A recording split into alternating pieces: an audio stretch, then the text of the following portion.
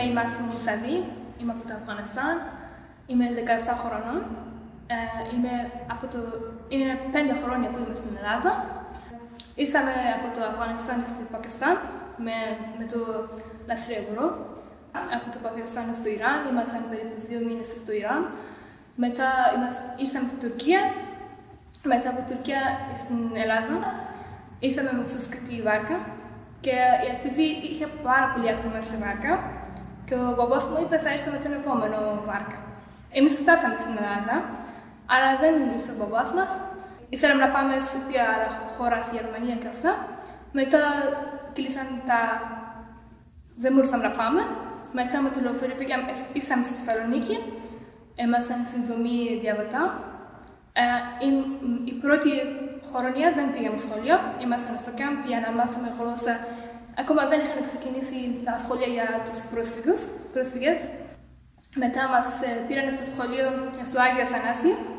Ήταν απογευματινό, μόνο για του πρόσφυγε για να μάθουν γλώσσα, λίγο μαθηματικά. Μετά από το ένα χρόνο ε, πήγαμε στο πρωινό σχολείο το Δευτέρα Γυμνασίου στο διαπολιτισμικό έδωσμο. Ε, τώρα είμαι στο τομέα υγείας. Ε, Δευτέρα Λυκειού είμαι. είμαι. Ε, δεν ξέρω, θα δούμε στο μέλλον τι θα γίνει. Αλλά θέλω να γίνω δοντίατρος.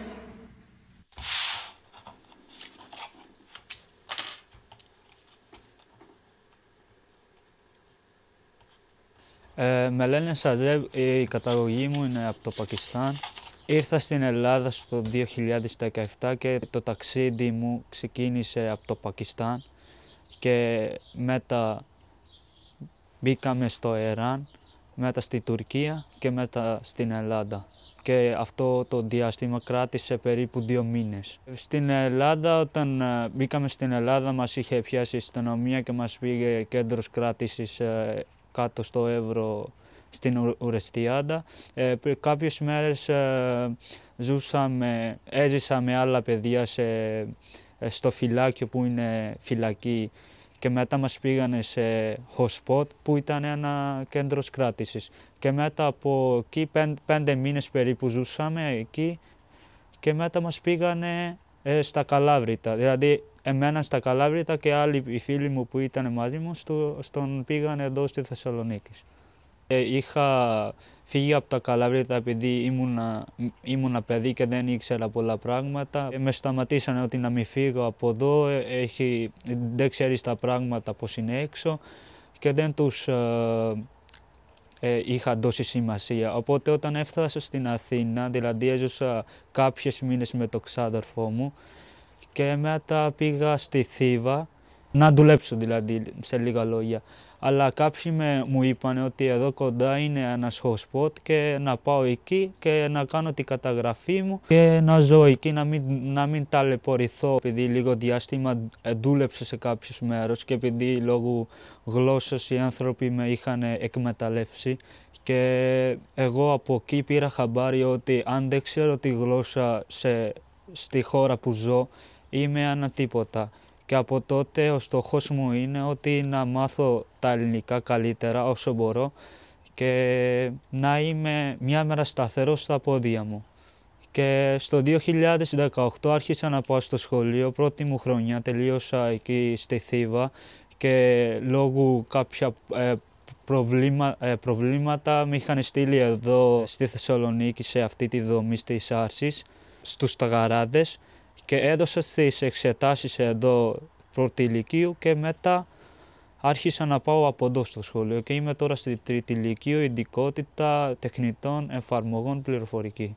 Ο στόχος μου είναι να γίνω ένας καλός διερμηνέας. Το προσπαθώ πάρα πολύ και τώρα προετοιμάζομαι να δώσω πανελλαντικές και οπότε αυτά όλα.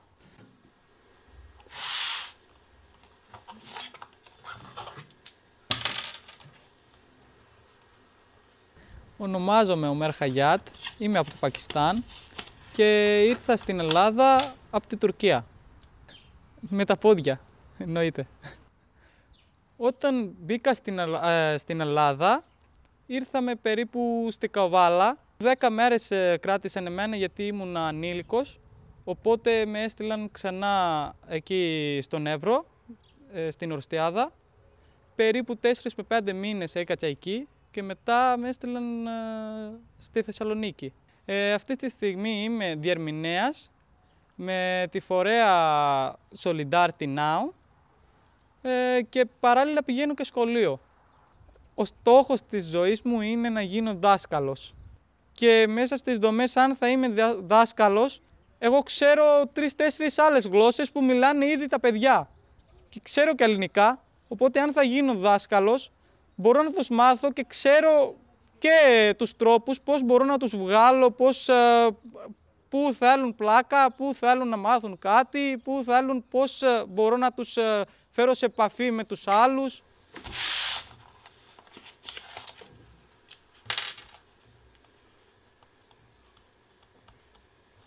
Το όνομά μου είναι Σντίκ και είμαι από Πακιστάν. Ήρθα πριν τέσσερα χρόνια στην Ελλάδα από το ένα νησί Κος και μετά ήρθα στην Αθήνα και πήγα στην Σπάρτη για να κάνω καμία δουλειά και μετά ήρθα στη Θεσσαλονίκη και με πιάσε αστυνομία και με στείλανε στην Καβάλα. Και εκεί πήγα σχολείο δύο χρόνια στο πέμπτο γέλ της Καβάλας και μετά ήρθα στη Θεσσαλονίκη, εδώ έγραψα πανελλαδικές και περάσα. Στην, τώρα είμαι πρώτο, πρώτο έτος φοιτητής στο Πανεπιστήμιος Σέρις, σπουδάζω διοίκηση επιχρήσεων.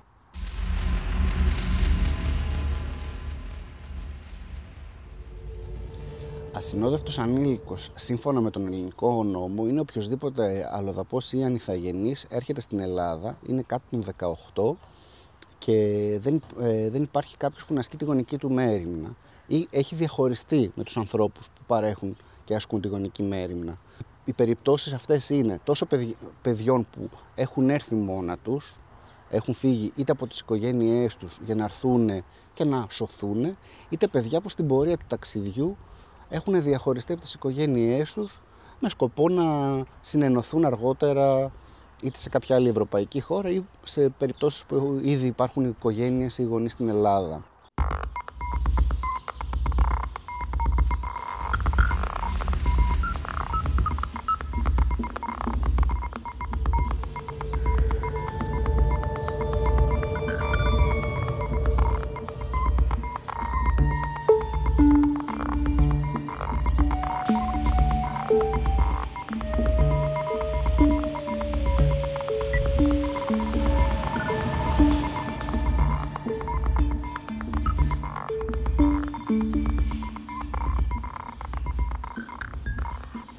Αναλφάβητο παιδί είναι αυτό το οποίο δεν μπορεί ούτε να γράψει ούτε να διαβάσει στη γλώσσα του. Είναι το παιδί το οποίο δεν ξέρει μαθηματικά, δεν ξέρει γεωγραφία. Παρόλο που έχει έρθει από την άκρη του κόσμου, δεν είναι σε θέση να βρει τη χώρα του στο χάρτη και τη διαδρομή. Η συναλλαγή με τις αρχές, με τις αρχές του κράτους δεν είναι εύκολη, δεν μπορεί να συνεννοηθεί, δεν ξέρει το δίκαιο του, αλλά και αν το ξέρει δεν μπορεί να το διεκδικήσει. Η πρώτη κοινωνία που θα τον απορρίψει είναι η σχολική κοινωνία. Από εκεί και πέρα, αν φύγει από το σχολείο αυτό το παιδί, πολύ δύσκολα μετά μπορεί να ενταχθεί σε οποιαδήποτε άλλη ομάδα. Γίνεται λοιπόν μια ευάλωτη ομάδα το αναλφάβητο παιδί, το οποίο έχει πάρα πολλούς κινδύνους. Θεωρώ ότι για να καταφέρει ένα ε, προσφυγάκι, ένα αλόγλωσσο παιδί να παρακολουθήσει το ελληνικό σχολείο δεν είναι απλώς δύσκολο, είναι, ε, μοιάζει πολλές φορές ουτοπικό. Ε, χρειάζεται μια συγκλονιστική υπερπροσπάθεια από την πλευρά του και μια συνολική προσπάθεια όλων των εμπλεκόμενων φορέων ε, δεν αρκεί δυστυχώς η επιθυμία των παιδιών. Ωστόσο, είναι χαρακτηριστικό νομίζω ότι αυτό που για το σχολείο θεωρείται η ελάχιστη υποχρέωση των παιδιών, η συστηματική παρακολούθηση, η τυπική παρακολούθηση του σχολείου καθημερινά από την αρχή της ε, ε σχολικής μέρας μέχρι τη λήξη της, ε, για αυτά τα παιδιά νομίζω ότι γίνεται κατόρθωμα. Η σχολική διαρροή στην Ελλάδα είναι γύρω στο 4%. Στον προσφυγικό πληθυσμό το ποσοστό αυτό φτάνει το 27%. Δηλαδή 7 φορές, 8 φορές μεγαλύτερο. Στον πληθυσμό των ε, ασυνόδευτων προσφυγόπλων, δηλαδή των παιδιών που είναι στον ξενώνα, αυτό το ποσοστό εκτινάσεται. Έχουν πολύ μεγάλη κινητικότητα αυτά τα παιδιά, αλλά επίσης και η απόρριψη από το σχολείο τα διώχνει εύκολα. Οι ξενώνες κάνουν εγγραφές όλα τα παιδιά. Τα μισά από αυτά τα οποία εγγράφονται ε, έχουν επαρκή φοιτηση στο τέλος της χρονιάς. Και σε ένα ποσοστό 70% αυτών ε, μπορούν και προάγονται. Συνολικά δηλαδή περίπου το 1 στα 10 συνόδευτα προσφυγόπουλα προάγεται στην επόμενη τάξη. Μιλάμε για παιδιά που ε, κουβαλάνε στη, σαν παρακαταθήκη στις βαλίτσες τους, πέρα από τις α, συγκλονιστικές εμπειρίες που δεν συνάδουν με την ηλικία τους, ε, κουβαλάνε έγνοιες που είναι επίσης δυσανάλογες ε, με την εφηβεία τους. Τα παιδιά αυτά δεν νοιάζονται μόνο για τη δική τους ζωή, έχουν να παλέψουν ε, για ζητήματα ζωτικά, όπως είναι κυρίως η νομιμοποίησή τους, είτε εδώ είτε κάπου αλλού στην Ευρώπη, που συνεπάγεται όχι μόνο μια καλύτερη ζωή για αυτούς, αλλά και την επιβίωση της οικογένειάς τους πίσω. Ε, οπότε έρχονται με ένα βάρος πώς θα σώσουν και αυτούς και τους άλλους πίσω τους ε, και αυτό μπορεί να σημαίνει να νομιμοποιηθώ εδώ ή να βρω έναν τρόπο ασφαλή για να φύγω και πάλι παράνομα στην Ευρώπη. Ε, και αν αυτό το συνδυάσει κανείς με τα τραύματα που φέρουν αυτά τα παιδιά, γιατί το μικρότερο κοινό ε, κακό που έχουν βιώσει είναι ένα παράνομο ταξίδι. Ένα ταξίδι στο άγνωστο που περιλαμβάνει τα πάντα. voyez, ah, le voyage, c'est dur. Surtout le période là, il est la neige. La, neige à la forêt et tout, c'est très dur. Euh, Albania, Monténégro, Bosnie, Croatie, Slovénie, Italie, après la France. Ah, puis ouais. On dort sur la neige, mais euh, si tu meurs, tu meurs. Si tu vives, tu vives. Moi, je connais des gens qui sont morts comme ça. Quelqu'un m'a sonné.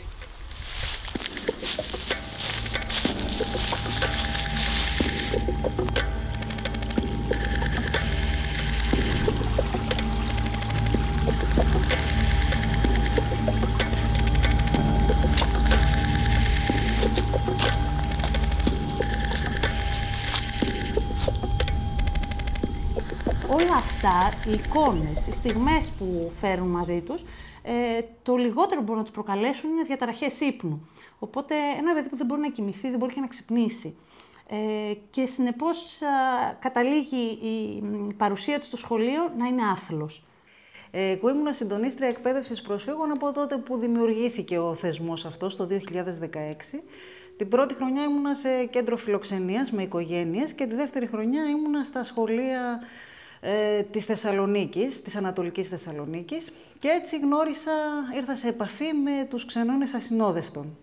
Το καλοκαίρι του 2018 ξεκινήσαμε εδώ στον Ξενώνα στους Σταγαράδες ένα θερινό σχολείο μαζί με εθελοντές συναδέλφους μου, φίλους μου, ε, που ερχόμασταν κάθε μέρα και κάναμε μαθήματα σε παιδιά, σε όσα θέλανε από τα παιδιά, ε, με σκοπό να τα βοηθήσουμε να πάνε το Σεπτέμβριο στο σχολείο. Όταν θα ξεκινήσει δηλαδή το σχολείο, να είναι κάπως πιο προετοιμασμένοι. तू बस खान ही आए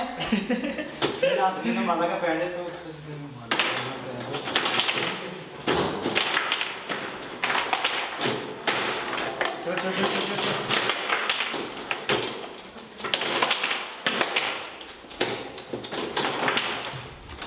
Πρώτη χρονιά δεν συζητούσαμε για ουσιαστική φίτηση. Συζητούσαμε για την εγγραφή. Αν δικαιούνται λοιπόν αυτά τα παιδιά να πάνε σχολείο. Ε, ήταν πάρα πολλές οι αντιστάσεις. Ε, και εμείς αντίστοιχα, είτε αγνώντας, είτε, είτε αγνώντας τις δυσκολίες που μπορεί να έχει το σχολείο, είτε παραμερίζοντάς τες, θεωρώντας ότι όσες δυσκολίες και να έχει οφείλει να τις προσπεράσει, ε, πιέζαμε.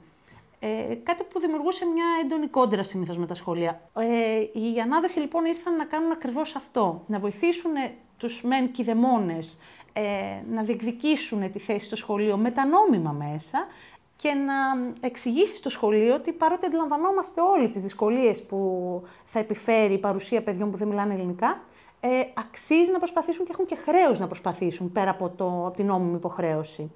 Οπότε η δημιουργία των αναδόχων για μας ήταν μια εξαιρετική γέφυρα για να ξεκινήσει μια νέα ε, κατάσταση, μια νέα διαδικασία όπου τα παιδιά θα είναι, κάθε παιδί θα είναι κάθε μέρα σχολείο. Αυτό είχε γίνει και το μότο μας στην περίοδο εκείνη. Γεια σου Βανσάν! Γεια σου κυρία μου. Τι κάνετε; Καλά, πολύ καλά. Εσύ τι κάνεις; Καλά είμαι. Alors, euh, on va à notre leçon. Tu vois, tu as l'image. Oui, je vois. Ça, c'est quoi qu'on voit? Ça qu'on appelle. Le système digestif. Bravo, le système digestif. est- Yes. Oui. Alors, on commence par ici. Qu'est-ce que c'est ça? Stoma. Στόμα. Μπράβο. Αυτό που κέρδισε ως ανάδοχος εκπαιδευτικός είναι καταρχήν έγινα καλύτερη σαν καθηγήτρια, σαν εκπαιδευτικός στο σχολείο μου ε, και σαν άτομο. Ε, αντιλαμβάνομαι με άλλο μάτι κάποιες δυσκολίες και εκτιμώ και περισσότερο αυτά τα οποία έχω πια. Εκτιμώ πιο εύκολα τον έφηβο ο οποίος κάνει την υπέρβαση. Ε, και εκτιμώ πιο εύκολα τα παιδιά τα οποία περνάνε από μια δυσκολία μέχρι να φτάσουν ένα σημείο. Τα παιδιά τα οποία εμφανίζουν έτσι την εικόνα του πετυχημένου, δηλαδή έχουν μάθει, έχουν ενταχθεί κτλ. Χαιρόμαστε πάρα πολύ με αυτά, αλλά αυτά είναι μια μειοψηφία. Από πίσω υπάρχουν πολλά όρατα παιδιά τα οποία κινδυνεύουν. Και σε αυτά πρέπει να σταθούμε και λίγο περισσότερο ίσως. Μία μέρα ε, ήρθε ένα παιδί από τη Συρία. Μόλις είχε έρθει ε, από τον Εύρο, ήταν ένα παιδί μαζεμένο, φοβισμένο, η ματιά του έφευγε στο κενό πολλές φορές, δεν μιλούσε καθόλου ελληνικά, καθόλου αγγλικά, ε, δεν ήξερε να πιάνει το μολύβι. Ήρθε παρόλα αυτά την πρώτη μέρα στο μάθημα, ήρθε τη δεύτερη μέρα στο μάθημα. Μετά την τρίτη μέρα φώναξε το διερμηνέα. Και ήρθε κάθισε εδώ πέρα ο διερμηνέας και απέναντί μου το παιδί και μου λέει «Κυρία, εγώ δεν θέλω να μάθω ελληνικά, γιατί ο αδερφός μου είναι στη Γερμανία και εγώ θα πάω στη Γερμανία». Εντάξει, λέω, Ασίμ, χαίρομαι πολύ που θα πας στη Γερμανία. Α, απλά δεν ξέρουμε πότε θα γίνει αυτό. Μπορεί να είναι μετά από τρεις μήνες, έξι μήνες, ένα χρόνο. Μπορεί να κρατήσει πολύ καιρό μέχρι να πας στη Γερμανία. Αλλά εσύ σε ένα μήνα, το Σεπτέμβριο, θα πας στο σχολείο. Γι' αυτό ερχόμαστε εδώ πέρα να σε βοηθήσουμε να μάθεις λίγα ελληνικά, γιατί θα είναι πιο εύκολα για σένα μετά όταν θα πας στο σχολείο. Την ώρα που μεταφραστεί, το λέει αυτό στο παιδί, παρακολουθώ να γουρλώνει τα μάτια του μια τεράστια έκπληξη και να λέει «Ποιο σχολείο» αυτό το σχολείο με τις τσάντες, με τα τετράδια, με τα βιβλία. Λέω ναι, θα πάω εγώ σε αυτό το σχολείο. Θα έχει και άλλα παιδιά Έλληνες; Ναι. Και το παιδί κάνει...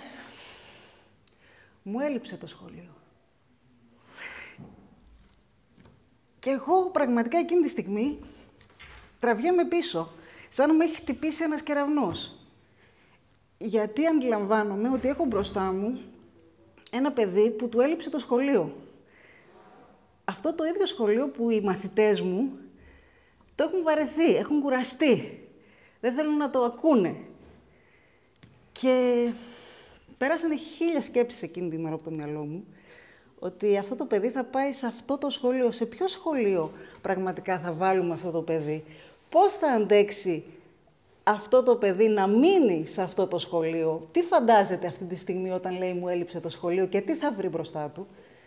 Και έτσι ξεκινήσαμε μαζί με τους υπόλοιπους συναδέλφους, όπως είπαμε, να κάνουμε αυτή την ομάδα των ανάδοχων εκπαιδευτικών με σκοπό να βοηθήσουμε αυτά τα παιδιά που τους έλειψε το σχολείο να μπορέσουν να παραμείνουν στο σχολείο, σε αυτό το ελληνικό δύσκολο σχολείο, που το πρόβλημά του, πιστέψτε με, δεν είναι μόνο το ότι τα παιδιά δεν ξέρουν τη γλώσσα. Ο λόγος δηλαδή που σταματάνε τα παιδιά στο σχολείο δεν είναι κυρίως ότι δεν ξέρουν τη γλώσσα και ότι δεν υπάρχουν τάξεις υποδοχής. Έχει και άλλα θέματα το σχολείο, το οποίο θα μπορούσε με την ευκαιρία αυτή των παιδιών προσφύγων να αλλάξει πράγματα. Το ευχόμαστε. Δεν ξέρουμε, είμαστε ακόμα στην αρχή, θα δούμε.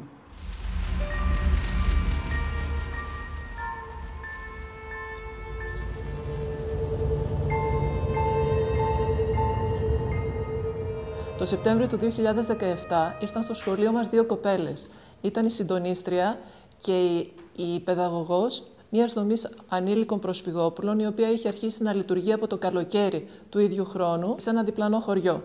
Οι κοπέλες ζήτησαν να εγγράψουν στο σχολείο 5-6 ασυνόδευτα προσφυγόπουλα, όλα αγόρια.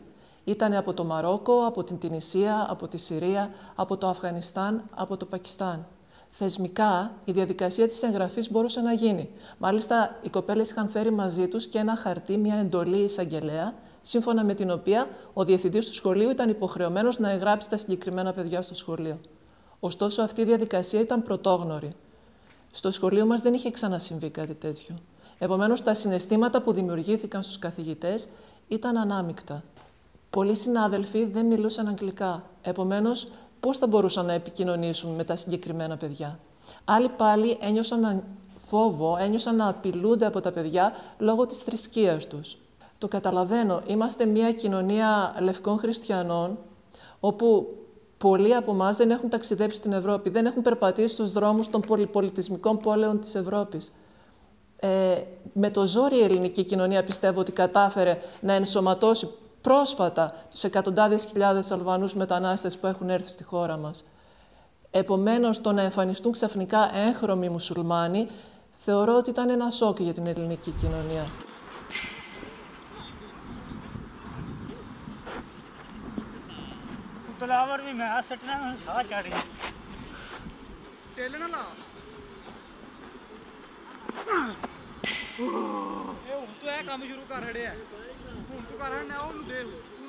Αρχικά λοιπόν νιώθαμε δυσπιστία για το συγκεκριμένο εγχείρημα. Επιπλέον νιώθαμε ότι υπάρχει και μια προχειρότητα από τη μεριά της πολιτείας.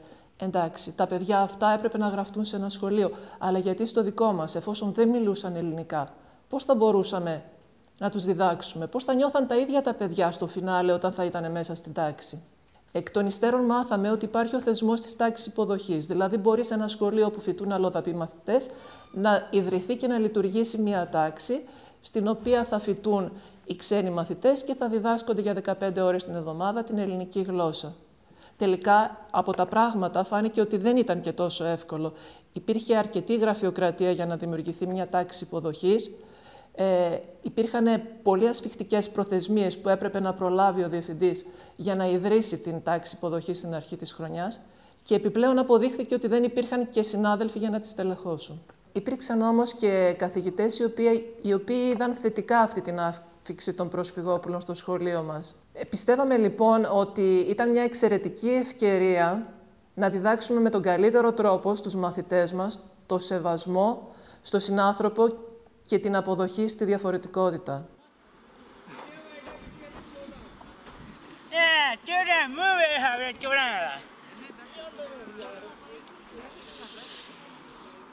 ਆਖਰ ਦੀ ਬਾਲ ਇਹਨੂੰ ਕਹੀਏ ਬੱਸ ਭਾਈ ਉਹਨੂੰ ਕਰਾਂ ਤੇ ਤੂੰ ਨਾ ਕਰਾ ਇਹ ਮੈਂ ਨਹੀਂ ਤੱਕਣਾ ਮਨ ਮੱਕੇ ਨਾ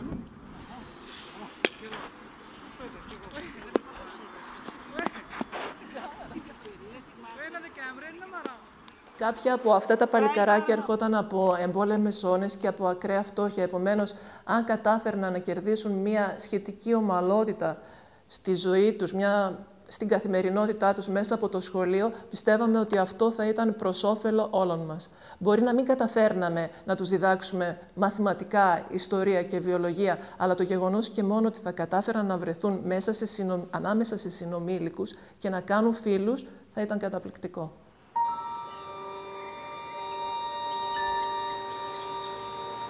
Τα μεγάλα σχολεία, ειδικά σε μεγάλα αστικά κέντρα, Αθήνα, Θεσσαλονίκη, σε μεγάλες πόλεις, εγώ σίγουρα συγκαταλέγω στα θετικά ότι φοιτούν μαθητές από διαφορετικές κουλτούρες, διαφορετικούς πολιτισμούς, διαφορετικές θρησκείες και νομίζω ότι είναι και ένα παγκόσμιο φαινόμενο αυτό. Δεν ισχύει μόνο στην Ελλάδα πια. Και θα πρέπει να το αποδεχτούμε και να είμαστε κι εμείς ανοιχτόμυαλοι.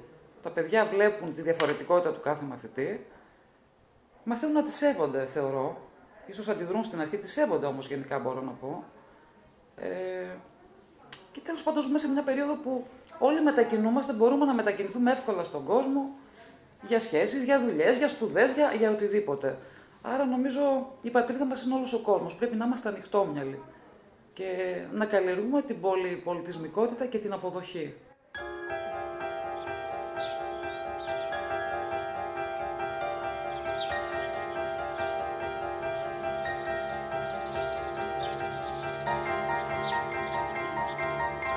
Τα παιδιά τελικά ήρθαν στο σχολείο μας, γράφτηκαν και ξεκίνησε κανονικά η σχολική χρονιά. Επειδή αρκετά παιδιά δεν μιλούσαν ελληνικά, είχαν πρόβλημα να παρακολουθήσουν τα μαθήματα. Φυσικά υπήρχαν και παιδιά που γνώριζαν λίγα ελληνικά, είχαν και από το χαρακτήρα τους μια εξωστρέφεια, γι' αυτά ήταν πιο εύκολα τα πράγματα και μπόρεσαν να προσαρμοστούν και να νιώσουν όμορφα μέσα στο σχολείο. Εκείνα όμως τα παιδιά που ήταν πιεσμένα ψυχολογικά, ήταν πιο εσωστρεφή και δεν μιλούσαν ελληνικά, αυτομάτως έγιναν αόρατα. Ήταν δύσκολο για τον καθηγητή να τα εμπλέξει στη διαδικασία, αλλά και αυτά έχασαν σταδιακά το ενδιαφέρον τους. Έτσι έπαψαν να έρχονται στο σχολείο.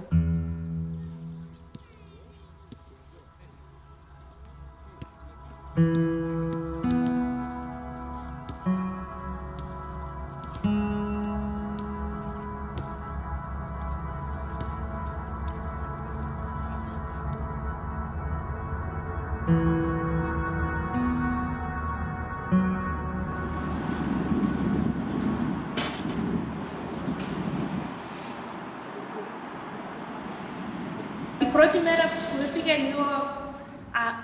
δεν ήμουν πολύ άνετη γιατί δεν ήξερα κανένα και επειδή ήμασταν και πρόσφυγε και μα κοίτουσαν παιδιά λίγο περίεργα και μετά μα πήραν σε μια τάξη που ήταν για πρόσφυγε.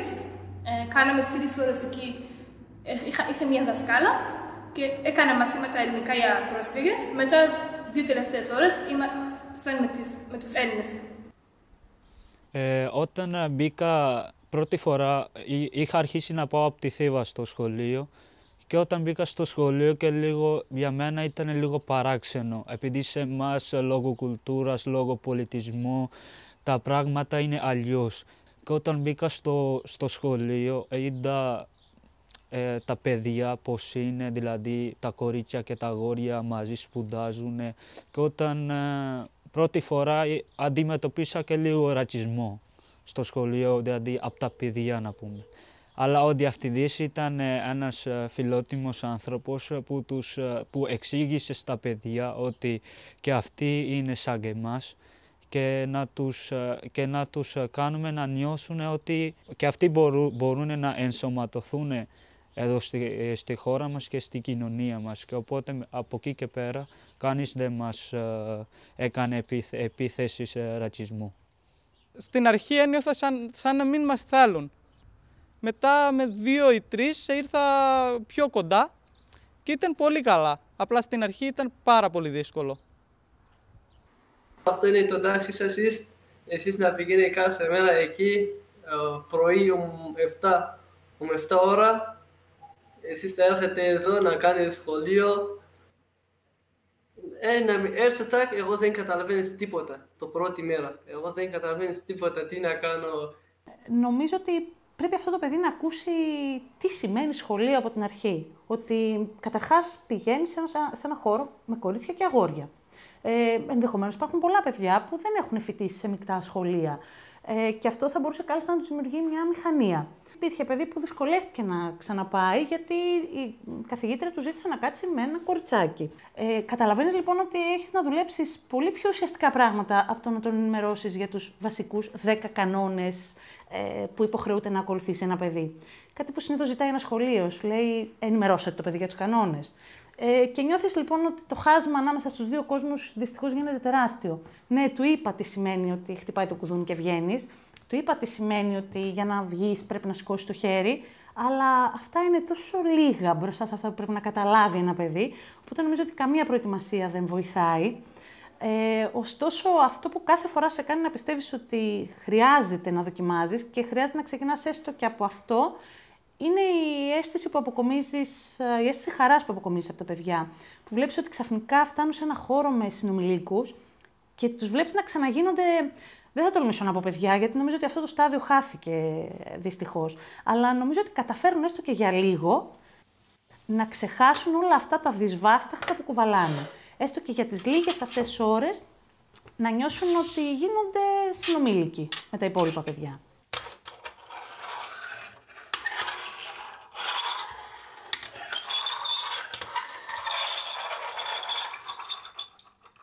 Υπάρχει μία στιγμή ε, η οποία για μένα είναι πάρα πολύ χαρακτηριστική για τα παιδιά που ξαναγυρίζουν στο σχολείο. Ε, πολλά από τα παιδιά γράφονται στη διάρκεια της χρονιάς, γιατί έρχονται στον ξενώνα, μπορεί να έρθουν Οκτώβριο, μπορεί να έρθουν Νοέμβριο και να έχει ξεκινήσει η σχολική χρονιά. Ε, έτσι λοιπόν πηγαίνουν στο σχολείο, ενώ ήδη έχει ξεκινήσει το σχολείο.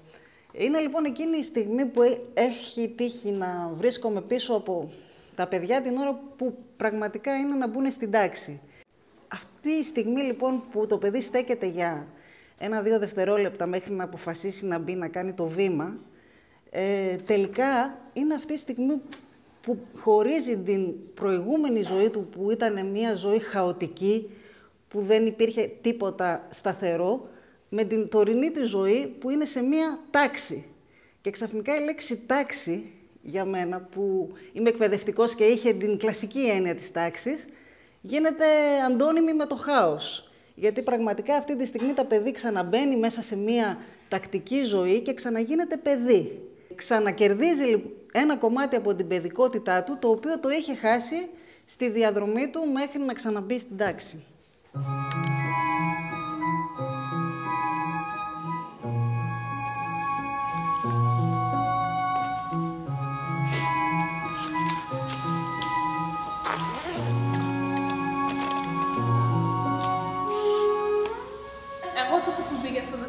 Ήξερα ελληνικά, μπορούσα να μιλήσω ελληνικά. Α πούμε, να μην είμαι πολύ καλή, αλλά ήξερα πιο καλά από άλλα παιδιά ελληνικά. Γιατί μπορούσα να μιλήσω πιο καλά από τις άλλες. Δεν είχα πρόβλημα να μιλήσω. Ε, αλλά έχει πρόβλημα στα μαθήματα λίγο. Γιατί ε, στα βιβλία έχει πιο δύσκολες λέξεις, πιο δύσκολες εκφράσεις, είναι πιο δύσκολες στα βιβλία.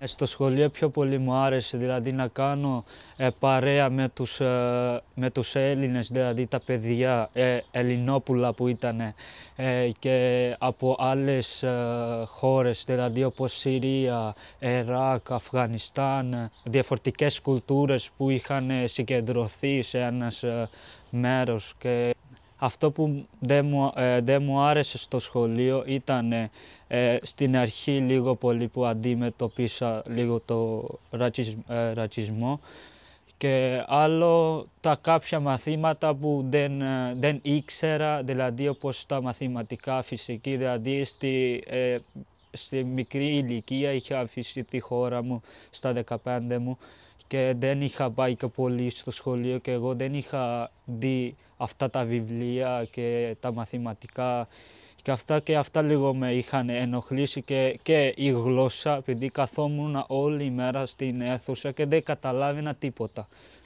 Ε, τα μαθήματα που γίνουν στα ελληνικά σχολεία για, τους, ε, για τα ξενά παιδιά επειδή τα, όταν ξεκινάνε τα σχολεία και αυτούς τους καθηγητές φέρνουν μετά από τρεις-τέσσερις μήνες και που δεν, πρέπει, που, που δεν πρέπει να γίνει αυτό το πράγμα. Δηλαδή να φέρουν ε, τους καθηγητές που κάνουν μαθήματα υποδοχής σύντομα για να καταλάβουν τα ελληνικά, τα, ε, τα ελληνικά και να προχωρήσουν και στη ζωή τους και στα μαθήματά τους. Ε, υπήρχε λεωφορείο να πάρει τα παιδιά από το δομή στο σχολείο και να τα παίρνει πίσω. Αλλά όταν ήρθαμε στο Λύκειο, έλεγαν ότι δεν θα πάρουμε τα παιδιά που πάνε Λύκειο, με, τα παιδιά πάνω από 15 χρόνων, θα τα πάρουμε στο λεωφορείο. Εγώ και οι φίλοι μου έπρεπε να ερχόμαστε μόνοι μας από το δομή. Και είναι πολύ διαβατά, είναι πολύ μακριά από εδώ. 6,5 ώρα το πρωί ξεκινήσαμε σπίτι, σκοτεινά ήταν ο αέρας και δύο κορίτσια κάθε μόνοι μας, ερχόμασταν 6,5, τρία λεωφορείο περνάμε και φτάσαμε στι 8 η ώρα στο σχολείο μισή ώρα και πρέπει να περιμένουμε μέχρι να χτυπήσει. Και μέχρι και να γυρίσουμε, ας πούμε, δύο η ώρα σχολάσαμε, αλλά ήμασταν τέσσερα, τέσσερα μισή σπίτι. Κοιτάξτε, όταν ήρθα στην Ελλάδα, δεν είχα καμία ευκαιρία να γνωρίζω τα παιδιά, ε, ενώ Έλληνες. Και ήταν καλύτερα να πάω στο σχολείο. Και πήγα στο σχολείο και γνωρίζα τα παιδιά, τι σκέφτονται για εμάς και αυτοί γνωρίζανε εμείς τι σκέφτομαι για αυτή. Γι' αυτό. Δεν λέω ότι τα παιδιά συμπεριφέρουν κακά, όχι, συμπεριφέρουν πολύ καλά. Αλλά δεν είναι τόσο πολύ κοντά σε μένα σαν αυτή τη φίλη μου που ήταν. Και εγώ λίγο, δεν, λίγο ντρέπομαι ή δεν μπορώ να μιλήσω πολύ καλά μαζί τους. και ακόμα δεν έχω βρει κανένα φίλη. είμαι, είμαι μόνη μου πάντα στα διαλύματα. Αλλά εντάξει, θα περάσω, δεν ξέρω. Δεν είναι εύκολη η αποδοχή και η συνύπαρξη. Ε, ειδικά σε μεγάλα σχολεία που τα παιδιά είναι πάρα πολλά και σίγουρα όταν ο πληθυσμός μαθητικός είναι μεγάλος, θα υπάρχουν περιπτώσεις, ένα ποσοστό που θα στραφούν και λεκτικά, ίσως έτσι απέναντι στα παιδιά αυτά, θα τα αντιμετωπίσουν με κάποια δυσπιστία, μπορεί κάτι να υποθεί. Εντάξει, δεν είναι εύκολο η αλήθεια είναι. Δεν είναι εύκολο και απαιτεί νομίζω και από τους εκπαιδευτικούς πάρα πολύ ε, προσπάθεια και δουλειά να χωρέσουν όλες τις διαφορετικότητες αυτές ε, σε ένα ενιαίο κομμάτι, σε μια, σε μια ισορροπία. Μόνο καλές εμπειρίες έχω από τα γενικά λύκεια. Αυτά που κάνανε οι Έλληνες, τα ίδια έκανα κι εγώ. Με βοηθούσαν μετά, δηλαδή να μάθω και να γράφω, όχι να είμαι καλό παιδί και να με βάλουν βαθμούς. Με βοήθησαν να, να γράφω μόνος μου. Εκεί όταν μιλούσα και προσπαθούσα, με διόρθωναν και οι συμμαθητές μου και με διόρθωναν με έναν τρόπο να μην νιώθω και άσχημα και να μάθω κάτι. Αυτό ήταν το καλύτερο, πιστεύω, που κάποιος μπορεί να κάνει. حابب انه اروح على المدرسه لانه انا وقت اللي اول ما رحت على اليونان كنت ناسي شلون اوضاع المدرسه فهمت لانه انا كنت وقت كثير انه ما رحت على المدرسه وقت اللي اول ما فت على اليونان وين بلشت بالمدرسة كان شيء حلو يعني انبسطت إنه رحت على المدرسة إنه بلشت وعندي شوي شوي كان صعب علي بس بعدين سهل علي يعني صار عندي أصدقاء وصرنا نتعارف نحكي شوي يوناني إنجليزي. كنا سبيلونا ياخد شيء نقطة طلبية يوناني أنا في يونان نقطة طلبية نقطة ما كده أنا مزن سرقين شو معلمين أنا بس بحس أوصل يعني أو لوجيك لوجيك شلون في وي مثلا نفقد شكي يونون دارادو اللي ايه بدأ نون ايه نون طبعا هوت ده عالمي ترتشت Νέαντε. Ζω το γόνια τρίγωνα είναι ήσαν αν έχουν ζω No, τις πλευρές τους, κάσετες, Ναι. κάσετες, πλευρές τους ήσαν μία προς μία. Ο τρόπος που οι Έλληνες μαθητές αντιμετώπισαν τα προσφυγόπουλα δεν είχε καμία σχέση με την επιφύλαξη που ένιωσαν κάποιοι ενήλικοι καθηγητές στην, στην προκειμένη περίπτωση. Εκείνη την εποχή υπήρξε ένα πρόγραμμα διερμηνίας, διερμηνίας μέσα στα σχολεία. Δηλαδή, μία φορά την εβδομάδα ερχόταν ένας διερμηνέας και για μία ώρα βοηθούσε τα συνόδευτα προσφυγόπουλα να επικοινωνήσουν με τους καθηγητές τους. Εμείς βάλαμε το διερμηνέα μέσα στην τάξη και ενθαρρύναμε να γίνει διάλογος ανάμεσα στα προσφυγόπουλα και στους συμμαθητές τους. Δημιουργήθηκαν σχέσεις. Ήταν ένα παιδί από το Πακιστάν το οποίο μιλούσε και καταλάβαινε αρκετά καλά ελληνικά. Είχε κέφι, είχε χιούμορ, ήταν πολύ επικοινωνιακός και έκανε αμέσως φίλους. Αυτό το παιδί υπήρξε ο καλύτερος πρεσβευτής για όλα τα ασυνόδευτα προσφυγόπουλα. Θυμάμαι με πόσο ενθουσιασμό συμμετείχε και στη μαθητική παρέλαση. Ήταν ένα άλλο παιδί επίσης από το Πακιστάν, το οποίο δυσκολευόταν να μιλήσει ε, και να καταλάβει ελληνικά, όμως έδειχνε συγκινητική φιλομάθεια. Ήταν και ένα άλλο παιδί, το οποίο είχε έρθει από τη Συρία και είχε μέσα στο μυρό του ένα θράψμα από σφαίρα. Θυμάμαι ότι είχε καθίσει σε μια γωνιά μόνο του. Ενθαρρύναμε κάποια παιδιά Έλληνες να το πλησιάσουν και τότε έγινε κάτι καταπληκτικό. Καθότανε 5-6 παιδιά γύρω από αυτό το προσφυγόπουλο και επί μισή ώρα, χωρίς να ακούγονται κουβέντες, γιατί δεν μπορούσαν να μιλήσουν, χρησιμοποιώντας μόνο τα κινητά τους τηλέφωνα και την αυτόματη μετάφραση, μπόρεσαν και επικοινώνησαν. Ήταν πραγματικά πολύ συγκινητικό. Έμοιαζε αισθητή διαφορά ανάμεσα στα παιδιά που πάλευαν για να φτύσουν το σχολείο και σε αυτά που δεν το τολμούσαν καν. Ε, βλέπαμε δηλαδή ότι ε, ξεφεύγαν από το καθημερινό βάλτομα. Δεν, δεν θεωρώ ότι ξεχνούσαν ποτέ τις ανησυχίες τους, αλλά έστω και για κάποιες ώρες της ημέρας ξαναγίνονταν έφηβοι με ανησυχίες εφηβικές. Και έβλεπες, έβλεπες μια αισιοδοξία, έβλεπες να αποκτά ένα νέο κίνητρο η ζωή τους. Ακόμα και αν την ίδια μέρα είχαν σχεδιάσει να φύγουν ευνίδια. Μπορούσαν να έχουν πάει το πρωί στο σχολείο. Ε, για μένα είναι πολύ χαρακτηριστική αυτή η κατάσταση. Παιδί που πάει μέχρι και το μεσημέρι σχολείο, έρχεται, τρώει κανονικά και ξαφνικά το βράδυ εξαφανίζεται.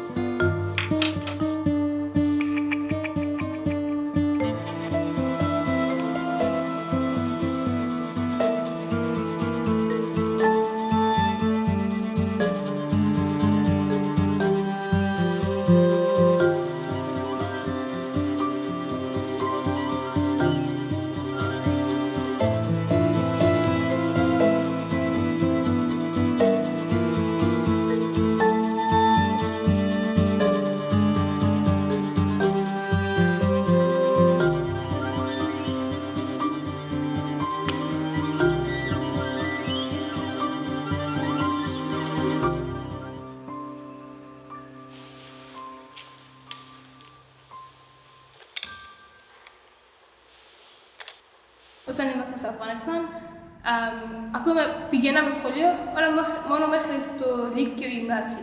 Μετά δεν αφήνα να πάμε στο πανεπιστήμιο ή κάπου άλλο. Τώρα που έχω, εγώ είμαι στην Ελλάδα, είναι, είμαι ελεύθερη, μπορώ να πάω σχολείο, γιατί να μην προσπαθήσω; Στο Αφγανιστάν που δεν μπορούσα να πάω, εδώ που μπορώ, γιατί να μην προσπαθήσω να κάνω; Οπότε έλεγα, μου ε, έδωσα στον εαυτό μου αυτή την ελπίδα ότι εδώ είμαι ελεύθερη, μπορώ να πάω σχολείο, πρέπει να προσπαθήσω να μάθω ελληνικά. Οπότε έτσι ήταν που ήθελα να πάω κάθε μέρα στο σχολείο. Εγώ όταν έφυγα από τα Καλαβριτά έφτασα στην Αθήνα και μετά πήγα στη Μανολάδα. Δούλεψα ε, τις τέσσερις μήνες στα χωράφια που ήταν φράουλες και τα λοιπά και οι άνθρωποι που ξέρανε τα ελληνικά λίγο πολύ και που μπορούσαν να μιλήσουν με άλλους άνθρωπους, ε, να συνονοηθούν μαζί τους και μας στέλνανε στη δουλειά. Η συμπεριφορά τους ήταν άπλαστη, δηλαδή δεν ήταν ανθρώπινη. Και δούλευα όλη την ημέρα και όταν ε, έφτασα στο σπίτι και δεν είχαμε να φάμε, δεν είχαμε καλές μέρες να κοιμηθούμε. Και όταν σε τρεις-τέσσερις μήνες τον είπα ότι θέλω, θέλω ότι έχω δουλέψει, δηλαδή τα λεφτά μου να κάνουμε ένα λογαριασμό και ότι ανήκει σε μένα να μου δώσεις και να φύγω στην Αθήνα. Και μου είπε ότι έζουσες τόσο καιρό εδώ, έχω χρωστάς αυτά και μετά που σε πηγαίναμε και σε φέρναμε από τη δουλειά χρωστάς από αυτά τόσα και μετά μου είπαν ότι ε, εσύ, που περισσεύουν σε εσένα τα λεφτά είναι τα 30 ευρώ και από τα 30 αγόρασα το εισιτήριο που έκανε 25 και τα 5 περίσεψαν για μένα για να φάω κάτι για να φτάσω στην Αθήνα. Και τόσα χάλια έχω ζήσει, οπότε αυτό το πράγμα με βοήθησε πάρα πολύ στη ζωή μου και για να κάνω το μέλλον μου καλύτερο. Où j'habite, il faut payer, il faut acheter ça, il faut acheter des lèvres et tout, mais mes parents, ils n'ont pas des moyens pour acheter tout ça, quoi. Vais pas vivre comme ça, il faut que je vive, que je fasse ma, ma vie, quoi. J'ai pas, pas envie de, de, voir aussi mes enfants grandir, après ils n'ont pas des moyens pour aller à l'école aussi, après. Si, si votre fils, il a l'histoire, la même, la même chose que moi, Qu'est-ce que vous allez dire? Έχασα δύο χρονιές, απλά δεν θέλω να τα θυμηθώ γιατί με στεναχωρεί αυτό το πράγμα. Ήθελα να συνεχίσω, ήθελα να τελειώσει το σχολείο. Είχα και δύο φίλους εκεί που μιλούσαν πολύ καλά ελληνικά και έλεγα αν μιλάνε αυτοί εγώ πώς δεν μπορώ. Στα ελληνικά με βοήθησε πάρα πολύ η μετάδραση γιατί πηγαίναμε στο σχολείο και μετά από το σχολείο πηγαίναμε στη μετάδραση δύο ώρες ήταν τρεις φορές την εβδομάδα και μετά ιδιαίτερα μαθήματα είχα στο, ε, στο σπίτι που μου έκαναν εθαλοντικά οι καθηγητές, βιολογία, χημεία, φυσική ε, και μαθηματικά, βέβαια που δεν καταλάβαινα πάλι, ε, αγγλικά, που εκεί δεν κατάλαβα πόσο αξία έχει όταν θα βγω. Το κατάλαβες, Αζέμ; Ναι, κυρία, το κατάλαβα. Μήπως μπορείς εσύ να σκεφτείς καμιά άλλη λέξη που να έχει σαν δεύτερο συνθετικό το ποιό; Ποιό, είναι ναι, προειδοποιώ. Τέλεια, μπράβο σου. Ποιο είναι το ναι. ουσιαστικό; Ε, προειδοποίηση. Μπράβο. Πάρα πολύ ωραία. Κανένα άλλο; Ο εκπαιδευτικός είναι παντού εκπαιδευτικός. Δηλαδή, ε, πλησιάζει πάντα το αδύναμο παιδί. Και αυτά τα παιδιά είναι αδύναμα, με τεράστιες εκπαιδευτικές ελλείψεις και οι τεράστιες ε, ελλείψεις στο θέμα της ένταξης. Δηλαδή, αυτά τα παιδιά περισσότερο από οποιοδήποτε άλλα παιδιά ε, έχουν μεγάλη ανάγκη από τους ε, Έλληνες εκπαιδευτικούς, τους εκπαιδευτικούς γενικά θα έλεγα. Αυτοί οι άνθρωποι ήταν φοβεροί. Αυτοί μου έδωσαν κίνητρο να συνεχίσω. Μου μάθαινε εκεί στο σπίτι μου και την επόμενη μέρα που πήγαινα στο σχολείο και τα έλεγα, όλοι οι μαθητές και οι καθηγητές ε, με έκαναν πολύ έτσι να νιώθω πολύ, πολύ καλά, σαν να είμαι στο Πακιστάν. Αυτό με έκανε πάρα πολύ εντύπωση και ήταν πάρα πολύ καλό. Αν τα παιδιά δηλαδή αντιληφθούν ότι εδώ είναι προτεραιότητα το σχολείο, ότι το σπίτι μυρίζει σχολείο, ότι έρχεσαι μετά το μάθημά σου και σε περιμένουμε στο τραπέζι ε, για να φάμε, με την έννοια όμως ότι έχεις ένα χώρο για να έρθεις να μεταφέρεις την εικόνα που πέρασες σήμερα. Κάπως να το μοιραστείς. Δίνεις αυτή την αίσθηση ότι είναι σπουδαίο αυτό που φέρνεις ε, το ότι το βράδυ θέλουμε να κοιμηθείς νωρίς, γιατί όλοι εδώ θεωρούμε ότι ε, πρέπει να είσαι στο σχολείο την άλλη μέρα. Ε, το να σε ρωτήσουμε ή το να σε βοηθήσουμε σε μια άσκησή σου, ε, ακόμα και αν δεν φτάνεις στο επίπεδο να κάνεις ασκήσεις για την τάξη σου, ε, το να σε ρωτάμε όλοι για το σχολείο, ε, νομίζω ότι δημιουργεί ένα κλίμα σχολικό που ευνοεί τη φίτηση λένε ότι η ελπίδα δεν πεθαίνει ποτέ, δηλαδή στο, τελευταία, στο τέλος πεθαίνει, αλλά εγώ εμπιστεύομαι, δηλαδή δεν πεθαίνει ποτέ, να μην επελπιζόμαστε ποτέ. Είχα προσπαθήσει πάρα πολύ, είχα πάει ε, σε πολλά μαθήματα, είχα ακολουθήσει πολλά σεμινάρια, είχα πάει στο σχολείο και όταν έμαθα, δηλαδή και δεύτερη φορά δεν με έχουν δώσει δεν, δεν με έχουν δώσει καταφύγιο, δηλαδή το άρσιλο. Και εγώ λέω θα είναι δύσκολο να ζήσω στην Ελλάδα. Οπότε λίγο είχα φύγει από το στόχο μου και ξανά λέω ότι να μην σταματήσω αυτά όλα που κάνω θα είναι κέρδος για μένα. Και αν μια μέρα θα πάρω και το άρσιλο θα είμαι έτοιμος για όλα και τα πάντα. Ε, φοβάμαι ότι είναι πολλοί λόγοι που μπορούν να αποθαρρύνουν ένα παιδί. Ε, πέρα από τους αυτονόητους προσωπικούς, η κακή έκβαση της υπόθεσής τους, ε, μια συγκλονιστική ιστορία πίσω είτε μπροστά, ενώ με συγγενείς που βρίσκονται είτε στη χώρα τους είτε στην Ευρώπη. Ε, διαπίστωσα ότι αυτό που μπορεί να τους αποθαρρύνει κυρίως, έστω και από αυτές τις λίγες στιγμές ξενιασιάς που τους προσφέρει το σχολείο, είναι το να είναι στο σχολείο αόρατα, το να μην τους δίνει κανένα σημασία, να είναι απλώς ένας ακόμα κακός μαθητής, αδιάφορος, που τελικά μόνο δυσκολεύει το μάθημα. Ε, νομίζω ότι αυτός είναι ο βασικός λόγος που τα παιδιά τελικά δεν αφήνουν στην άκρη τα δικά τους ε, και σταματάνε το σχολείο. Ενώ αντίθετα διαπιστώσαμε ότι όταν υπάρχει έστω και ένας καθηγητής που στο σχολείο μοιάζεται προσωπικά, δείχνει αυτό το εξατομικευμένο ανθρώπινο ενδιαφέρον. Ενδεχομένως δεν μπορεί να, να, ε, να εμβαθύνει περισσότερο, αλλά είναι ένας άνθρωπος σημείο αναφορά για αυτό το παιδί. Το παιδί ξέρει ότι αυτός ο άνθρωπος αύριο θα του χαμογελάσει, αυτός ο άνθρωπος θα αναρωτηθεί αν λείψει.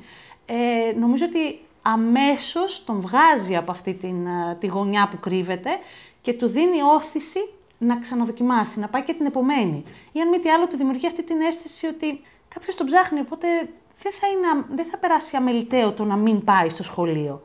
Ε, και νομίζω ότι εκεί ενεργοποιείται και το φιλότιμό του αντίστοιχα. Έχω ένα χρέος και απέναντι σε αυτόν που με νοιάζεται να πάω.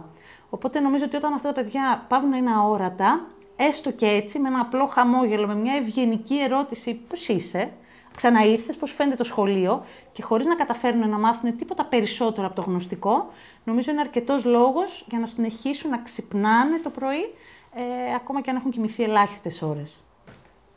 Στο δεύτερο γέλ ε, της ε, Θεσσαλονίκης, στο ημερήσιο, εκεί και η διευθύντρια ήταν υπέροχη. Αν πραγματικά ήθελα να τελειώσω το Λύκειο εκεί, σε αυτό το σχολείο, το συγκεκριμένο, και στο Πανεπιστήμιο η ίδια, ε, ίδια διευθύντρια ήθελα. Και οι ίδιοι θυμαστές, γιατί έχει πολύ σημασία πιστεύω γιατί όταν υποστηρίζουν αυτοί που είναι γύρω μας, μας βοηθάει αρκετά. Θέλω να σας αναφέρω και κάτι που κάναμε με την ε, Μάσομα το... τα Χριστούγεννα, ήταν το 2019, το ξεκινήσαμε μαζί. Είπαμε να κάνουμε μια γιορτή, μια παρουσίαση στο Σύλλογο των Καθηγητών, για να δείξουμε πώς είναι, ε, δεν έχουν Χριστούγεννα στη χώρα τους, έχουν πρωτοχρονιά, για να δείξουμε πώς είναι αντίστοιχα η πρωτοχρονιά στο Αφγανιστάν. Ε, δουλέψαμε μαζί, βρήκα εγώ κάποιο υλικό, βρήκα και αυτή κάποιες φωτογραφίες. Σε κάποια στιγμή συναντηθήκαμε από κοντά για να κάνουμε το PowerPoint του παρουσίαση. Δεν θα ξεχάσω ότι μου είπε ότι ε, κυρία πρέπει να βάλετε από το Αφγανιστάν τα βουνά του, τις λίμνες του. Ξέρετε είναι όμορφη χώρα το Αφγανιστάν. Και μετά τις βάλαμε τις φωτογραφίες, το κάναμε όπως ήθελε, είπαμε τα έθιμα της χώρας, την κουλτούρα κτλ. Ε, και σκεφτόμουν, γιατί να μην είναι όμορφα και τα βουνά του Αφγανιστάν δηλαδή. Στο κάτω-κάτω είναι η πατρίδα της αυτή. Να, και το παρουσιάσαμε στο σύλλογο και νομίζω ότι ήταν πολύ ωραίο. Δηλαδή και εμείς πρέπει να μπούμε λίγο και στην κουλτούρα τη δική τους, γιατί και αυτοί μπαίνουν στη δική μας. Και έτσι πρέπει να είναι. Πρέπει να συνεπάρξουμε. Περίπου ένα χρόνο πριν περνούσα από κάτω από το, από το, σταθμό, από το σταθμό των τρένων. Εκεί ήταν μια κυρία που έβριζε στους Πακιστανούς. Και εγώ είμαι από το Πακιστάν, όπως εσείς αγαπάτε την πατρίδα σας, έτσι είναι και μια αγάπη στη καρδιά μας. Οπότε μόλις ακούω Πακιστάν και τη, τη ρωτάω πολύ ευγενικά, κυρία μου, τι πάθατε, τι, γιατί βρίζετε στους Πακιστανούς; Και μου λέει, δεν βρίζω εσένα συγκεκριμένα. Λέω, δεν χρειάζεται να με βρίζετε συγκεκριμένα μέχρι να κάνω κάτι. Για ποιο λόγο όμως για, για τους Πακιστανούς; Και η κυρία μου είπε ότι έμειναν εδώ, το σπίτι, δεν έκαναν τίποτα. Εσύ πώς ξέρεις τόσο καλά ελληνικά και με απαντάς και θέλεις να, θέλεις να με απαντήσεις; Μόλις της είπα ότι πηγαίνω σχολείο, χάρηκε πολύ και χάρηκα και εγώ γιατί όταν πηγαίνω εγώ σχολείο και χαίρεται κάποιος άλλος, αυτό με δίνει, δίνει πολύ θάρρος για να κάνω αυτό το πράγμα, να συνεχίζω έτσι όπως το κάνω.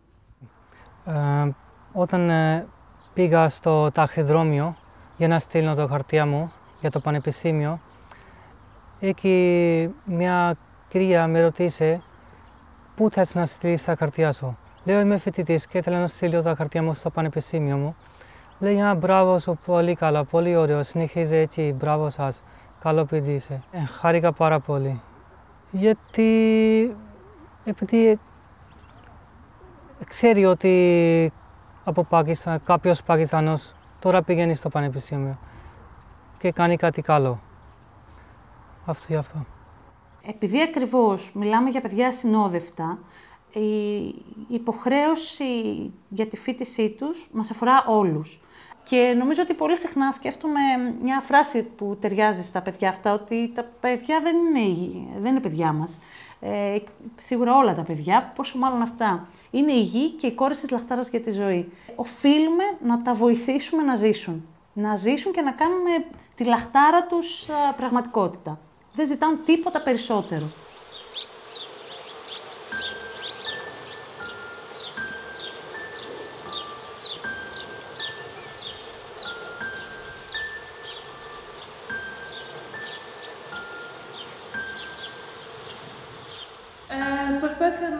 Να μα φέρει πολύ καλά πράγματα.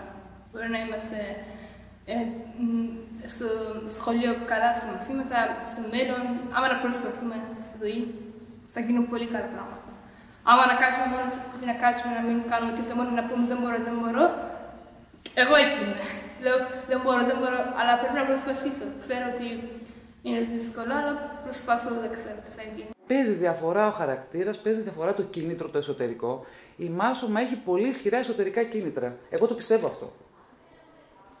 Ε, ε και ίσως ε, έτσι είναι για ανθρώπους που δεν είναι δεδομένα τα πράγματα, όπως η οικογένεια, ε, δουλειά, ένα σπίτι όπως τα έχουμε εμείς, ε, τα εσωτερικά κίνητρα είναι ισχυρά και είναι αυτά που τους σωθούν τελικά στη ζωή να κάνουν πράγματα. Η γνώση είναι ένα πράγμα που δεν μπορεί να πάρει κανείς. Μπορώ να πάρω τα λεφτά των άλλων, να τον κοροϊδέψω και να πάρω τα λεφτά του μπορεί να κορυδέψω και να πάρω ε, την ε, εξουσία του. Τη γνώση δεν μπορώ να πάρω με, με τίποτα. Ε, θα έλεγα ότι τα συνόδευτα παιδιά, το, οι πρόσφυγες, είναι αυτό το, το πράγμα το πιστεύουν πάρα πολύ έντονα, ότι η γνώση είναι δύναμη. Ε, είναι το ζητούμενο για αυτούς άλλωστε. Είναι ευκαιρίες που δεν δόθηκαν. Ε, μαθητικά χρόνια που ίσως δεν φίτησαν στη χώρα τους και ήρθαν κάπου αλλού.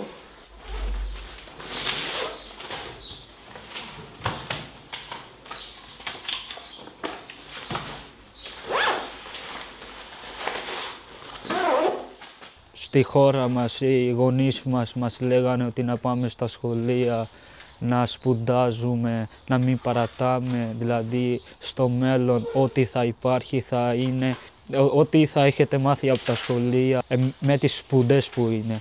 Οπότε σήμερα που λέω να μην σταματάμε ποτέ σπουδές μας, ε, να πρέπει να πάμε στα σχολεία, να μαθαίνουμε τα πράγματα όσο μπορούμε εξωτερικά, εσωτερικά. Οπότε θα πω στο τέλος ότι η γνώση είναι δύναμη. Αν ξέρεις τα λίγα, πολλά, τα λίγα ή πολλά πράγματα, αύριο ή μετά, αύριο αν κάποιος ε, θα σου ρωτήσει κάτι, εσύ μπορείς να το απαντάς, δηλαδή δεν θα ντρέπεσαι για τίποτα. Είναι ένας τρόπος να ανοίξουν μια χαραμάδα. Ένα παράθυρο, μια πόρτα, δεν ξέρω στη ζωή τους κάτι, και να διεκδικήσουν ένα μέλλον ε, καλύτερο. Δηλαδή, σαφώς το, το πιστεύω. Τώρα, πώς θα φτάσουν μέχρι το τέλος και θα το καταφέρουν και με τι τρόπο δεν μπορώ να ξέρω. Αλλά βλέπουμε παιδιά τέτοια που έχουν ικανότητες να πάνε πάρα πολύ καλά. Μαθησιακά μιλάω. Και ψυχολογικά που φαίνονται ότι είναι καλά. Μιλάμε για παιδιά που αν κάποιος δεν τους εξηγήσει τη σπουδαιότητα του σχολείου, ε, όση διάθεση και να έχουν, αν μάλιστα βιώνουν και τη ματέωση στο σχολείο, δύσκολα θα, θα μπορέσουν να υποστηρίξουν την, την πηγαία τους διάθεση. Χρειάζεται μια, μια συνολική προσπάθεια όλων όσοι βρίσκονται γύρω από το παιδί για να ενθαρρύνουν αυτή του την ανάγκη. Γκάρτο μπαμπάτ, μπάτκο, είναι και Άμα να κάνεις κακό, στο κακό τι διαφορά έχεις αυτό;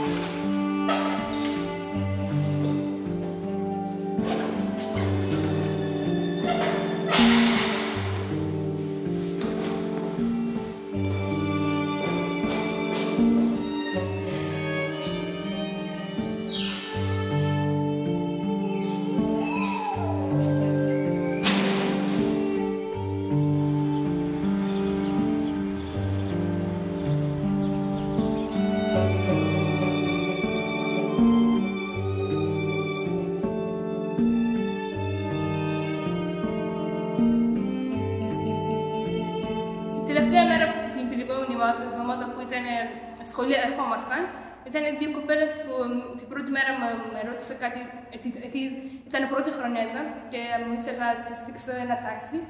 Και μετά ήρθε και με, μου μίλησε, λέει, άμα θες να είμαστε, λέει και εγώ είμαι μόνη, άμα θες να είμαστε μαζί σε διαλύματα. Και μετά όταν ήθελαμε να ξεκινήσουμε, έγινε πάλι καραντίνα. Και πάλι στο σπίτι μας, με διαδικτυακά, σε μία οθόνη,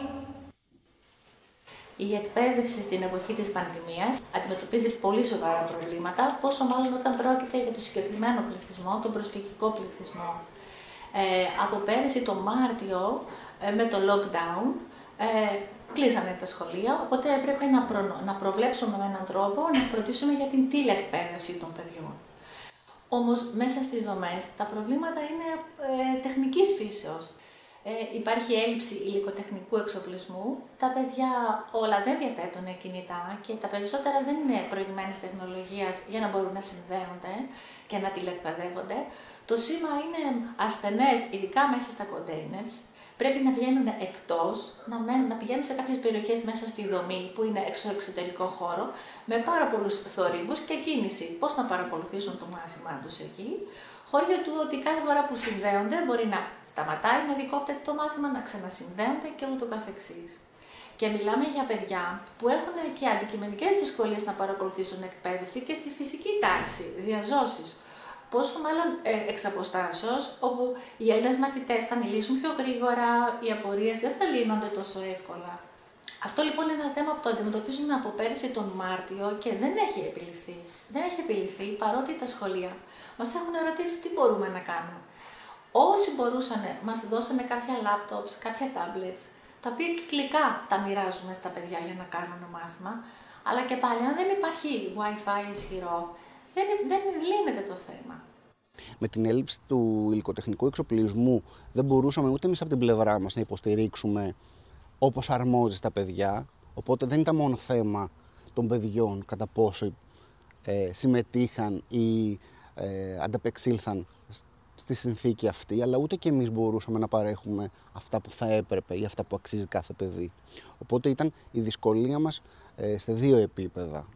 Μην πω τρία επίπεδα, αν βάλουμε και το, την προσέγγιση με την ε, τυπική εκπαίδευση, πώς θα έπρεπε εμείς να έρθουμε σε επαφή με, τους, ε, με τα σχολεία, με τους διευθυντές, με τους καθηγητές, για να μπορέσουμε να εξηγήσουμε την ιδιαιτερότητα της κατάστασης, την ιδιαιτερότητα του πληθυσμού μας, ε, την έλλειψη προφανώς γνώσης για να μπορούν να διαχειριστούν συστήματα και προγράμματα και την έλλειψη από τη δυσκολία στη σύνδεση στο ίντερνετ που δεν είχαμε καλή πρόσβαση όταν θα μπορούσαν να μπαίνουν 10 και 15 παιδιά παράλληλα.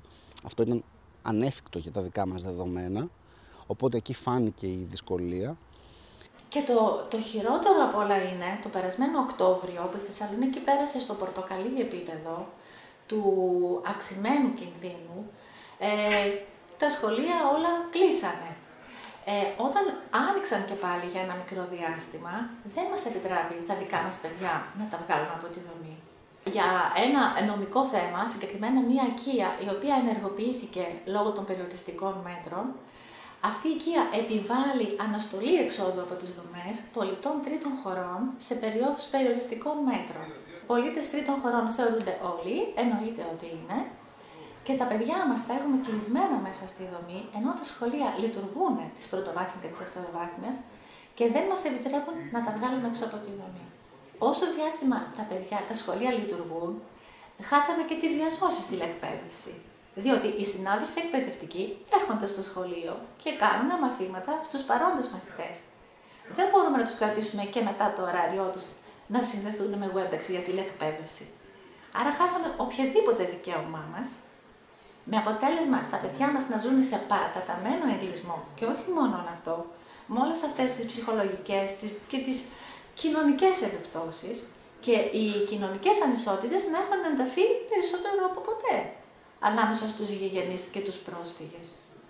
Όλες αυτές οι κινήσεις που κάνουμε από τον Οκτώβριο είναι όλες να στείλουμε επιστολές στο Υπουργείο, στην Περιφέρεια, στο Συνήγορο του Πολίτη, σε όποιον νομίζουμε ότι μπορούσε να μας βοηθήσει, Προφορικά έχουμε πάρει τις διαβεβαιώσεις ότι μας καταλαβαίνουν και μας συμπαρίστανται, αλλά κανείς δεν έχει φροντίσει να παρακάψει αυτό το νομικό ζήτημα για να μπορέσουμε να βγάλουμε τα παιδιά μας, τα οποία είναι κλωβισμένα στις δομές αυτή τη στιγμή και δεν φοιτούν στο σχολείο.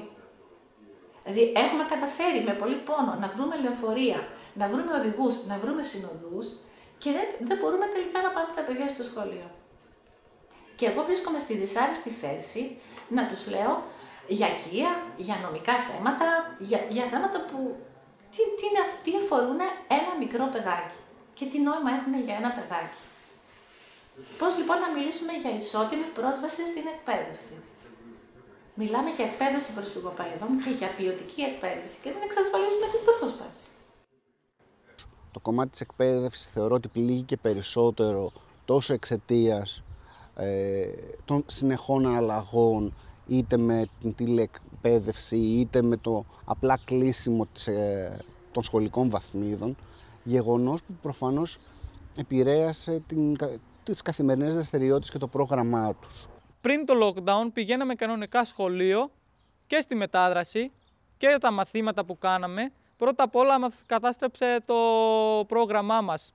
Νιώθω λίγη κούραση, γιατί δεν είναι συνεχώς είναι μία εβδομάδα πηγαίνουμε σχολείο και την άλλη εβδομάδα λόγω, λόγω τα κρούσματα ή βγαίνει όπως χιόνισε στη Κοζάνη, μία εβδομάδα ήταν κλειστά τα σχολεία. Οπότε δεν, δεν μπορώ να κρατήσω τώρα μία ισορροπία με αυτά τα δύο πράγματα. Ε, όταν ξεκίνησε το lockdown, ε, ήταν στο διαδικτυακό, στο κινητό έκανα. Ε, λίγο δυσκολεύαμε πολύ. Ε, πιο πολύ στα μαθηματικά, χημεία, φυσική, σε αυτά λίγο δυσκολεύομαι πιο, πιο πολύ. Γιατί είναι και δύσκολα μαθήματα και εγώ στο σχολείο που ήμασταν λίγο με το 12 έμαθα. Άμα και να είναι στην διαδικτυακό σε μια οθόνη, θα είναι πάρα πολύ πιο δύσκολη. Πόσο εύκολο είναι να κάνεις ένα μάθημα, πούμε, στη φυσική, στα μαθηματικά, στη γλώσσα από το κινητό τηλέφωνο; Και αν χρειαστεί να το κάνεις για τρει-τέσσερι μήνες. Δηλαδή, δεν ξέρω πραγματικά. Ε, άρα για αυτά τα παιδιά είναι, είναι πιο δύσκολα. Υπάρχει το αντικειμενικό ζήτημα της γλώσσας. Αυτό για μένα είναι πάρα πολύ βασικό. Πρέπει, ε, δηλαδή άνθρωποι ζουν χρόνια στην Ελλάδα και δεν μπορούν να μιλήσουν καλά ελληνικά και να διαβάσουν ένα ελληνικό βιβλίο, όχι ένα παιδί που έχει έρθει εδώ και πέντε χρόνια. Αλλά έχω βρει μια, ένας δάσκαλος και αυτό από διαδικτυακό, ε, μία φορά την εβδομάδα, μου κάνει άλλη και γεωμετρία. Ε, με βοηθάει πολύ. Αν είναι δύο εβδομάδες που τον έχω βρει και με βοηθάει πολύ, αλλά πάλι είναι δύσκολο στο διαδίκτυο. Ήμουν πολύ χαρούμενη που άνοιξαν τα σχολεία, αλλά πάλι κλείσανε και δεν ξέρω τι θα γίνει. Προσπαθώ να τα καταφέρω. Επειδή τα μαθήματα γίνονται από μακριά, ίσως αυτό ήταν μια ευκαιρία για τους ανάδοχους εκπαιδευτικούς να έρθουν περισσότεροι στην ομάδα, γιατί είναι πιο εύκολη η πρόσβαση στον ξενώνα. Δηλαδή ένας ε, εθελοντής ο οποίος θα πρέπει να ταξιδέψει μισή ώρα για να πάει στον ξενώνα, το σκέφτεται περισσότερο, ενώ όταν ε, μπορεί να κάνει το μάθημα από το σπίτι, ε, μπορεί πιο εύκολα να διαθέσει αυτό το χρόνο. Οπότε κατά τη διάρκεια της πανδημίας είχαμε περισσότερους εθελοντές στην ομάδα μας, κάτι που μας βοήθησε πολύ να εξελιχθούμε και σαν ομάδα και σε άλλα επίπεδα. Ε, και νομίζω ότι βοήθησε και πάρα πολύ τα παιδιά που έτσι και αλλιώς δυσκολεύονται να παρακολουθήσουν το εξαποστάσεως μάθημα που γίνεται στο σχολείο, ενώ ένα μάθημα που είναι πιο προσωπικό και πιο εξατομικευμένο, που κάνει ο ανάδοχος εκπαιδευτικός, ε, τα βοηθάει να διατηρήσουν μία σχέση με τη μάθηση, μία επαφή με τη μάθηση. Νομίζω ότι ο κορονοϊός χάλασε όλο τον κόσμο τα πράγματα. Ε, δεν ξέρω, ελπίζω να, όσο πιο γρήγορα μπορεί να φύγει αυτό το πανδημία που μας έχει κλείσει. Ελπίζω έτσι και πέσανε πολλοί άνθρωποι σε όλο τον κόσμο. Ελπίζω όσο πιο γρήγορα να πάει. Ε, εντάξει, όλοι ελπίζουμε να πάνε καλύτερα τα πράγματα. Δεν ξέρω οι ελπίδες πόσο βοηθούν. σω δεν μπορούμε να κάνουμε και τίποτα άλλο δηλαδή. Και να επιστρέψουμε ε, στο σχολείο μας που μας λείπει. Νομίζω και στα παιδιά λείπει πρώτη φορά. Και σε εμάς και σε αυτά.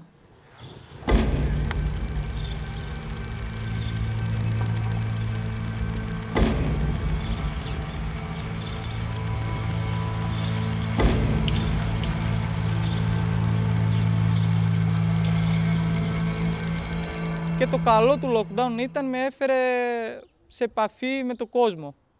Με έμαθε πώς μπορούμε να κάνουμε φιλίες, πώς, πόσο σημαντικό είναι να δώσουμε το χρόνο μας στους άλλους. Το χειρότερο είναι δεν μπορούμε να έρθουμε σε επαφή γιατί πολύ, πιο πολλοί που είναι οι καθηγητές μου είναι σε μεγάλη ηλικία και από μόνος μου δεν θέλω να έρθω σε επαφή γιατί δεν θέλω να τους δυσκολέψω γιατί εγώ αν εμένα προσωπικά αν θα πάθω κάτι και αν θα κολλήσω είμαι μόνος μου. Αν θα μεταδίδω σε αυτούς μπορεί να έχουν και παιδιά οπότε δεν είναι καθόλου, δεν πιστεύω να είναι καλό να, να έρθω σε επαφή. Μιλάμε μέσω ίντερνετ, μέσω, μέσω Skype, τα, τα λέμε τα νέα μας. Να τους. Αχ, να το παιδί. Με τα μουσια. Καλησπέρα κύριε. Τι κάνετε εσείς; Καλά, εσύ είμαστε. Εγώ είμαι καλά, είμαι πάρα πολύ, ευχαριστώ πάρα πολύ. Τι, πώς το λέγεται, τσάι. Τσάι, τσάι. Εντάξει. Ο αδερφός σου δουλεύει; Όχι, ο αδερφός μου το κάνει σχολείο ακόμα. Α, ακόμα σχολείο, μπράβο. Τι σχολείο; Ausbildung, πώς το λέγεται. Ausbildung. Πρακτική εξάσκηση. Για τι πράγμα; Uh, von Betreuung, wie Mama Maria. Όπως η Μάμα Μαρία, όπως η Μαρία... Για τη, τη παιδιά βοηθήσεων αυτά, πώς Betreuung. Betreuung είναι φροντιστής. Α, όπως η Μάμα Μαρία, κατάλαβα, ναι, ναι, ναι. Ωραία, εντάξει.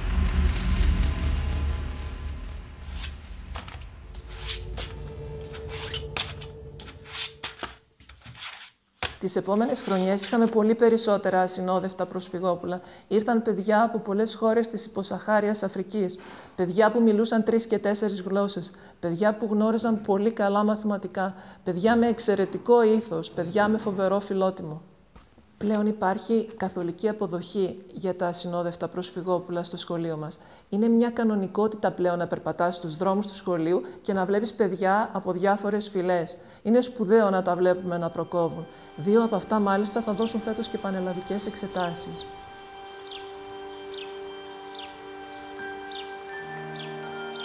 Ακόμα και εκείνοι οι καθηγητές, οι συνάδελφοι, οι οποίοι ήταν επιφυλακτικοί στην αρχή με την έλευση των προσφυγόπουλων, τα έχουν αποδεχτεί πλήρως καμαρώνουν.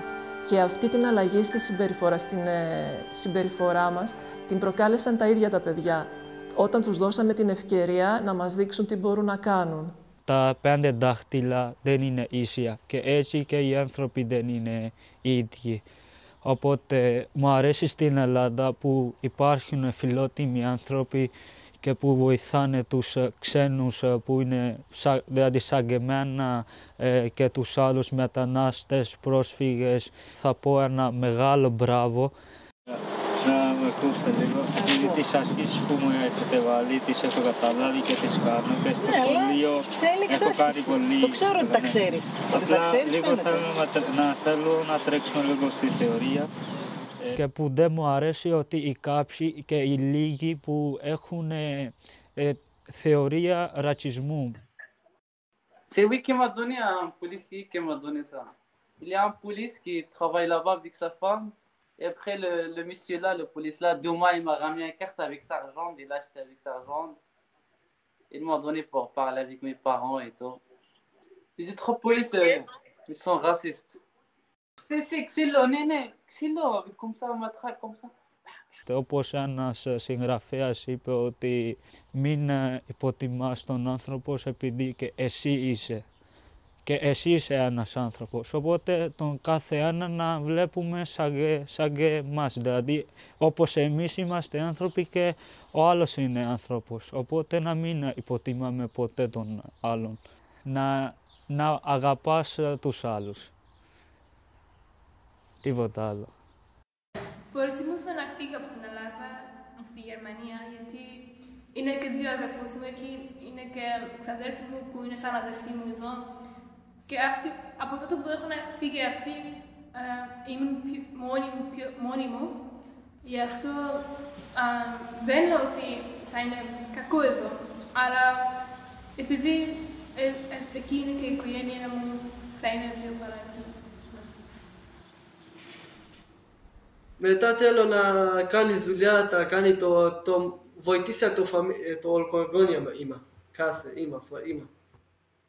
Qu'est-ce que tu rêves Avant, je rêve de, de, de retourner euh, visiter mon pays déjà. Et après, je, je fais ma famille ici. Je trouve une femme, je suis marié avec, j'ai mes enfants, je fais ma maison. Voilà.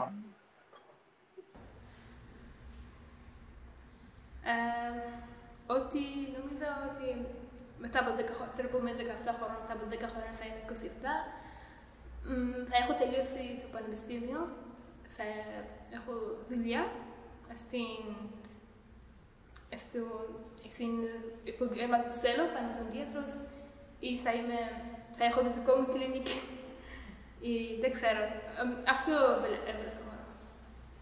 Ότι θα είμαι μια, μια γυναίκα που δεν χρειάζεται την βοήθεια κάποιον άλλον, θα είναι μόνη, μόνη της, με, με, έχει φτάσει και με, με δικό της προσπάθεια. Αυτό έβλεπα μόνο.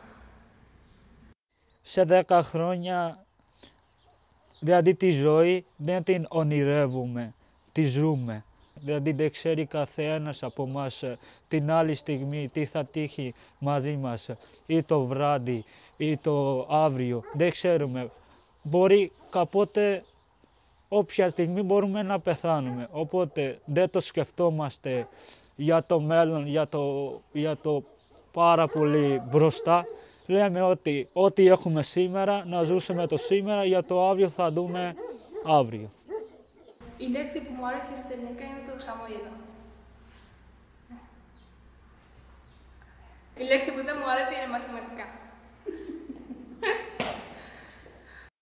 Ε, μια άσχημη λέξη και σήμερα, μέχρι σήμερα για μένα που είναι, είναι απορριπτική απόφαση από υπηρεσία ασύλου. Και η καλύτερη λέξη θα είναι η θετική απόφαση που θα πάρω κάποτε στη ζωή μου. Η πιο άσχημη λέξη στα ελληνικά είναι αγγένεια, πιστεύω, γιατί προς τους άλλους.